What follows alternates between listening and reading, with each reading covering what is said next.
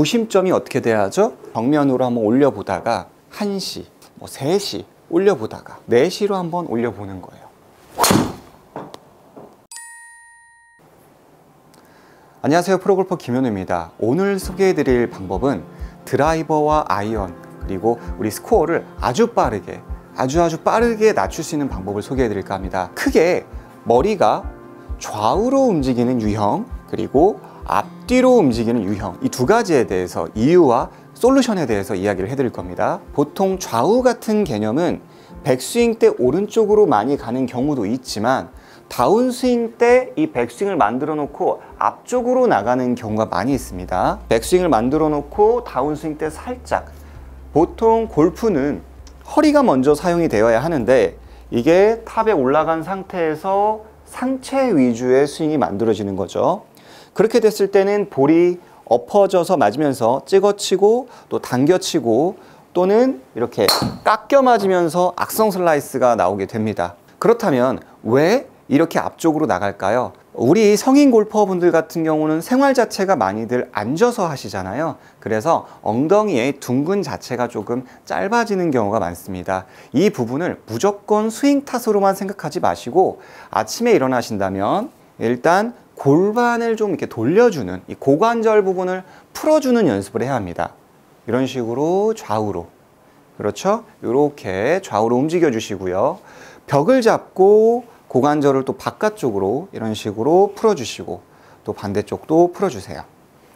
그러니까 충분히 스트레칭을 하셨다면 제일 많이 들어보셨을 겁니다. 이렇게 왼손을 앞으로 고정하고 뭐 테이블이 있다면 테이블을 잡으셔도 좋고요. 벽면이 있다면 벽면을 잡으셔도 좋아요. 자, 연습장이라면 이렇게 헤드에 손을 올려놓고 그 상태에서 백스윙 그리고 다운스윙 때 손이 움직이지 않은 상태에서 엉덩이 부분을 좌측으로 밀고 돌려주는 이 동작으로서 스윙을 만들어주는 겁니다. 자, 정면에서도 백스윙, 밀고 돌려주는 겁니다. 그때 이 등 근육이라고 하죠. 이 뒤쪽 근육이 늘어나는 것을 느껴주시면서 체중이 뒤꿈치로 가는 연습을 하는 겁니다. 자, 왼손이 앞으로 나와 있는 행위는 얼굴이 앞쪽으로 나가지 못하도록 만들어주는 것과 동시에 왼쪽 힙을 조금 더 사용해서 스트레칭 해주는 역할을 만듭니다. 그리고 나서 왼손을 앞으로 밀어주시고 나서 백스윙 왼쪽으로 힙 밀어주고요. 그때 당시에 왼손은 움직이지 않습니다. 스윙. 세게 하실 필요 없어요. 백스윙 밀고 돌고 자 백스윙 밀고 돌고 이런 식으로 밀고 돌고 이 동작만으로도 백스윙에 올라가서 밀고 돌고 백스윙 밀고 돌고. 이 동작 얼굴이 나가는 부분을 조금 더 손쉽게 교정을 할 수가 있습니다. 백스윙에 올라가서 밀고 돌고. 이렇게 예행 연습을 한번 해주시는 것도 좋습니다. 올라가서 머리 유지 밀고 돌고. 자, 내 몸에다가 피드를 주고 그런 다음 샷을 하는 거죠. 두 번째로는 백스윙 때 머리가 오른쪽으로 가는 골퍼분들 이런 골퍼분들은 이 측면에서 머리가 일어나서 우측으로 가는 케이스가 많습니다.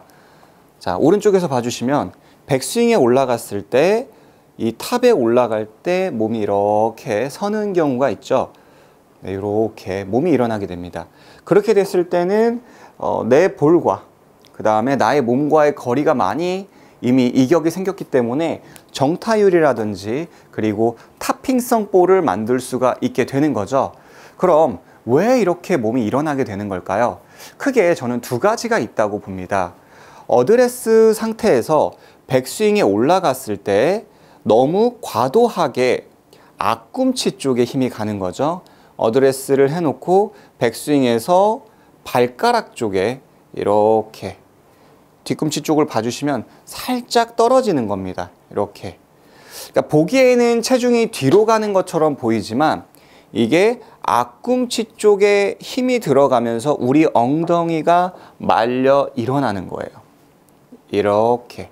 머리가 위로 일어나고 머리가 아래로 떨어지는 이 사실 두 가지 모두 다 발바닥에서 문제가 나타나는 경우가 있습니다. 자, 금방 얘기했던 이야기를 이어서 해보자면 머리가 일어난다 라는 것은 발끝 쪽에 힘이 가면서 일어나는 거라고요. 머리가 중요한 게 아니라 발바닥의 체중 분배가 어떻게 되느냐에 따라서 머리가 일어나고 숙여지게 되는 겁니다. 자, 백스윙, 백스윙. 이렇게. 그렇다면 일단 최대한 체중을 뒤꿈치에 많이 실어주세요. 뒤꿈치에 어드레스를 하고요.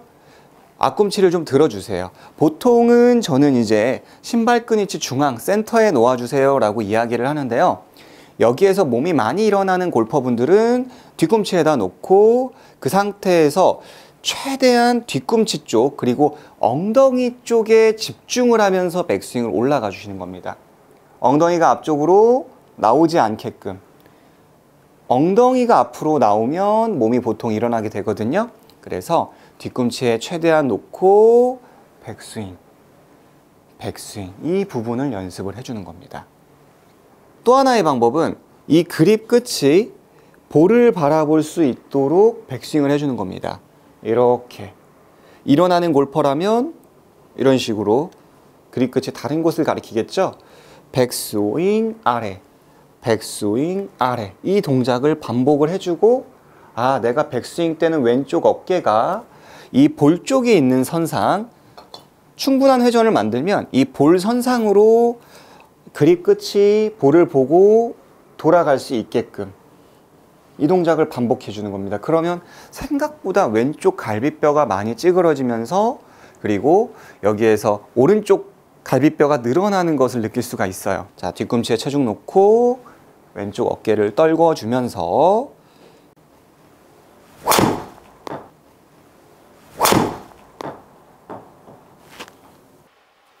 이렇게 몸이 일어나는 골퍼분들은 스윙을 교정할 수가 있습니다. 보통 이렇게 일어나시는 골퍼분들은 목이라든지 아니면은 허리 쪽이 불편한 우리 그 어머님 아버님 세대에서 많이 나타나는 문제이기도 합니다. 사실 몸이 이렇게 일어나는 골퍼분들은 어머님 아버님들 허리가 불편하시거나 무릎이 불편하시거나 목과 어깨 쪽이 뭐 회전근개 파열이라든지 디스크라든지 이런 부분이 있는 분들이 백스윙에 올라갈 때 불편함으로 인해서 자꾸 몸을 서게 되는 경우가 생각보다 많이 있습니다. 우리 골퍼분들이 이 백스윙에 올라갈 때 만약에 그렇다면 백스윙을 좀 팔을 사용하시는 걸 전 개인적으로 추천드려요. 팔이라 함은 백스윙 때는 이렇게 우측으로 회전을 하지만 올릴 때는 아 내가 좀 백스윙을 팔로 들어야지 팔로 들어야지 그런 마음을 갖고 연습을 해주시는 게 저는 좋다 이렇게 생각을 합니다. 자 마지막으로는 백스윙 때 아래로 떨어지는 골퍼분들. 그 골퍼분들도 발끝에 체중이 많이 쏠리면서 나타나는 문제라고 볼 수가 있어요. 백스윙 때 발가락이나 발끝 쪽으로 힘이 많이 가면 어떻게 되죠? 머리가 아래로 쏟아집니다.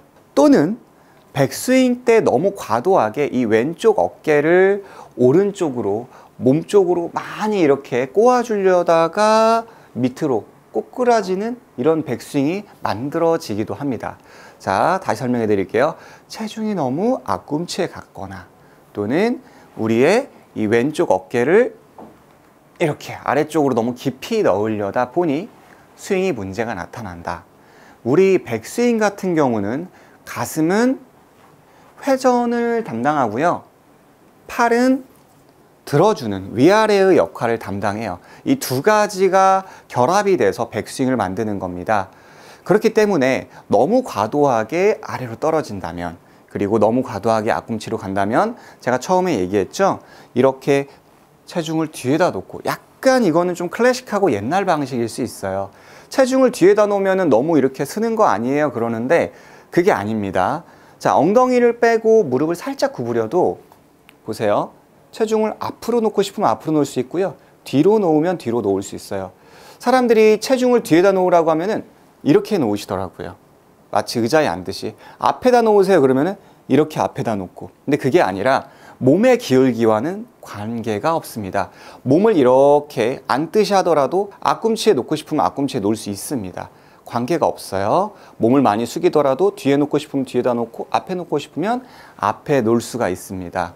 그래서 첫 번째는 우리 체중 분배를 일단 해주시는 것. 두 번째로는 너무 과도하게 몸을 많이 쓴다면 아까 전에 이야기했잖아요. 팔을 사용해야 한다. 몸의 사용보다는 팔을 일단 이렇게 위로 한번 들어보시고 아 이런 식으로 들어줘야 하는구나. 자, 그 상태에서 살짝 오른쪽. 그죠? 만약에 여기가 12시, 3시라면, 6시라면, 일단 12시 방향 정면으로 한번 올려보다가, 1시 올려보다가, 뭐 3시 올려보다가. 자, 이제 4시가 정확한 탑인데요. 4시로 한번 올려보는 거예요. 아, 이렇게 팔을 드는 거구나.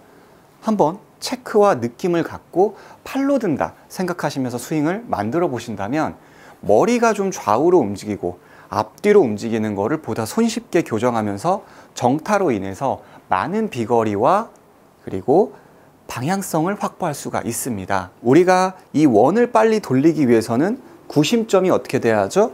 가만히 있어야 빨리 돌릴 수 있습니다. 근데 여기에서 이 구심점, 즉 우리의 spine angle이 되겠죠? 구심점이 이런 식으로 움직인다면, 앞뒤 좌우로 움직인다면 당연히 이 끈은 샤프트라고 하겠습니다. 골프채라고 하면 이게 팔이 몸이라고 하면 많이 움직이면 나는 이렇게 열심히 하는데 스피드는 안 나고 정타도 안 나오는 거죠. 비거리가 난다는 것은 즉 자세가 좋다는 거예요. 방향성이 좋다는 건 자세가 좋다는 겁니다. 그만큼 흔들림이 없다는 거예요. 흔들림을 잡아주시는 거예요. 체중을 뒤꿈치에다 놓고요. 그 상태에서 자 백스윙 때는 팔로 팔로 올릴 거예요. 절대 팔이 아니에요. 자 그대로 팔로 우측으로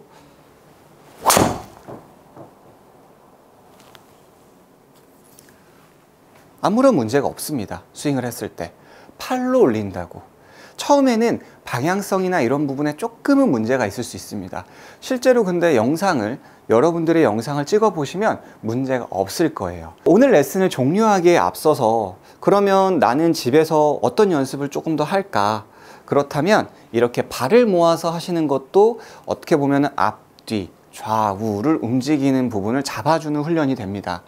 드라이버 같은 경우는 볼 위치를 새끼발가락 이쪽에 놓고 공을 또 맞춰주는 연습이 굉장히 좋고요. 아이언이나 우드 같은 경우는 발과 발 사이 정중앙에 놓고 백스윙에 올라가고 follow through는 4분의 3스윙만 해주신다면 아무래도 뿌리가 약하기 때문에 앞쪽으로 쏟아지는 분들은 이렇게 앞으로 또 일어나는 분들은 뒤로 또 오른쪽으로 가거나 좌측으로 머리가 많이 움직인다거나 그러면 이렇게 내가 움직이는 방향으로 넘어지게 되어 있습니다. 근데 이도 안 된다면 오른발을 들고 이렇게 백스윙. 한 발은 더 힘듭니다. 이런 식으로 오른발을 빼고 마치 내가 살얼음판에 서 있다. 이런 마음으로 연습을 해주시면 균형 잡기가 굉장히 어렵지만 퍼포먼스는 훨씬 더 좋아진다. 여러분들이 이렇게 생각해 주시면 좋을 것 같습니다. 볼을 새끼발가락 쪽에 놓고요. 발을 모아서 볼을 새끼발가락 쪽에 놓고 오른발 뒤로 빼서 마지막으로는 눈을 감고 백스윙을 예행 연습하는 것도 어, 우리 발바닥을 조금 더 민감하게 머리의 움직임을 느낄 수가 있어요.